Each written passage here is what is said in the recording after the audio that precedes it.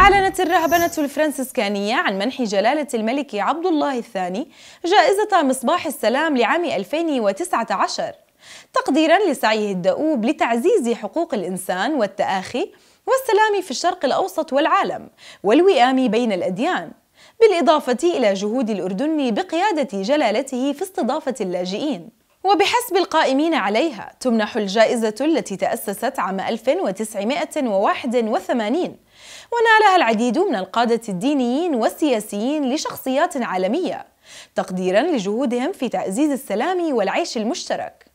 وأعلن القائمون على الجائزة عن تنظيم فعالية في مدينة السيزي الإيطالية لتسليم الجائزة لجلالته نهاية الشهر الحالي.